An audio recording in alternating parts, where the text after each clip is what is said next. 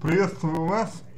И, ага, действительно, ага, как коллеги а, правильно сказали, как поступать, но проблема заключается в том, что перед тем, как э, вести себя подобным образом, то есть показать человеку э, все плюсы позитивного положения, позитивного мышления, поведения, необходимо понять, а что, собственно говоря, заставляет человека вести себя негативно, негативно мыслить, какие препятствия у личности для того, чтобы мыслить позитивно и, соответственно, расти, развиваться, что ему мешает.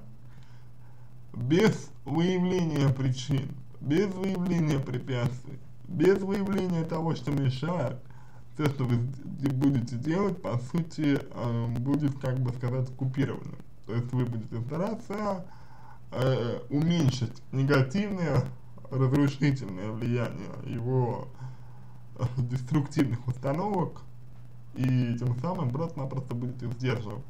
То есть вам будет постоянно а, поддерживать вот этот вот уровень, а, уровень позитивного мышления, уровень позитивного воздействия на человека, а, чтобы а, негативное, что в нем есть, ну, меньше давало о себе знать.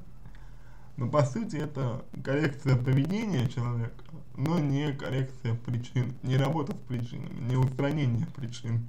А пока не будут устранены причины, э, не будет изменено поведение в корне. То есть оно будет меняться лишь внешне, оно будет меняться лишь вот а, поверхностно. А глубина все будет оставаться так Ну, знаете, по аналогии можно привести а, такой пример.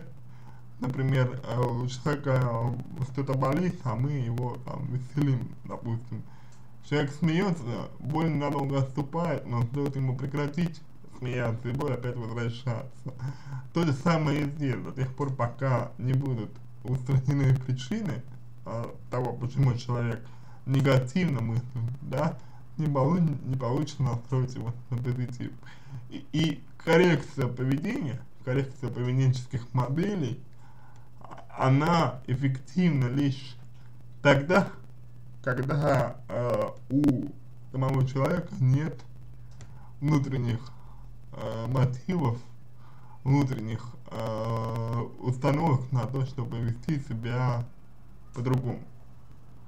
В противном случае коррекция превратится в просто в ломание человека, говорит, вот ты неправильно э, поступаешь, ты неправильно живешь, давай ты будешь делать это по-другому. Ну, это, согласитесь, не совсем правильно. На этом все. Надеюсь, что помог вам. Если какие-то вопросы остались, обращайтесь в личку, помогу. Если вам понравился мой ответ, буду благодарен, если сделаете его лучше.